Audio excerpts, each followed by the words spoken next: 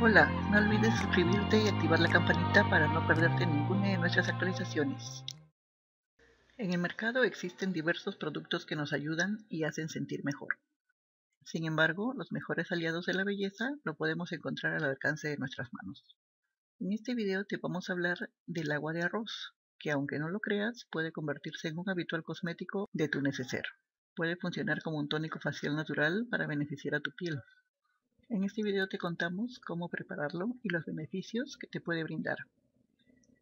Solamente hay que coger un tazón con arroz y poner agua suficiente para que el arroz quede sumergido con un par de dedos de agua por encima.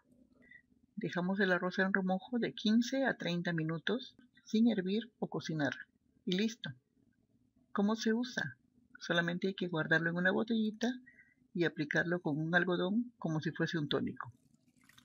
Incluso cuando pasen unos días, el olor del líquido empieza a volverse más ácido, lo que significa que está empezando a fermentar. Puede seguir usándose.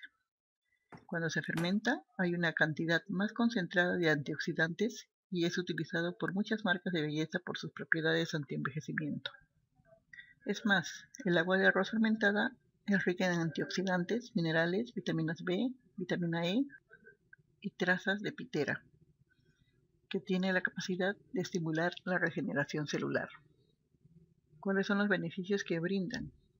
Ayuda a suavizar la piel y le devuelve la tersura, dado que es un tónico suave y natural. El agua de arroz posee antioxidantes de acción antiinflamatoria, por lo que es un buen aliado para calmar las irritaciones cutáneas. Por su alto contenido en inositol, estimula el flujo sanguíneo y retrasa el envejecimiento prematuro.